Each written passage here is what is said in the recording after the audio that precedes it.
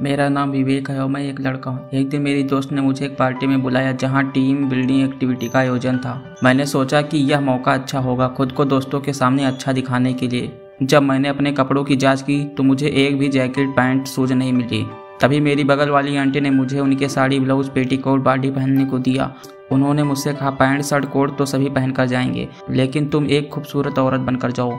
मैं उन्हें समझाने की कोशिश करते हुए कहता हूँ, यह एक क्रॉस ड्रेसिंग है, लेकिन उन्होंने मुझे विश्वास दिलाया कि यह एक मज़बूत टीम बिल्डिंग के लिए एक उत्तम विकल्प होगा। मुझे आगे बढ़ने की ज़रूरत है, इसलिए मैंने उनकी सलाह मानी और उनके कपड़ों को ब्यूटी पार्लर लेकर पहुँचा। दो घंटे में ब्यूटीशियन ने मेरा मेकअप करके आंटी की साड़ी पहनाकर नई नवीली दुल्हन की तरह तैयार कर दिया। जब मैं पार्टी में पहुँचा तो लोग मुझे देखते रह गए। लेकिन मैं औरत बनकर खुश था और मेरे दोस्तों ने भी मेरी खूबसूरती की खूब तारीफ़ की। और उस रात मैंने औरत बनकर क्रॉस ड्रेसिंग को खूब इंजॉय किया। इस प्रकार मुझे पता चला कि क्रॉस ड्रेसिंग करना कितना मज़ेदार होता है। तो दोस्तों, ये मेरी कहानी थी। आशा करता हूँ आपको पसंद आई होगी। Thanks for watching and don't forget to subscribe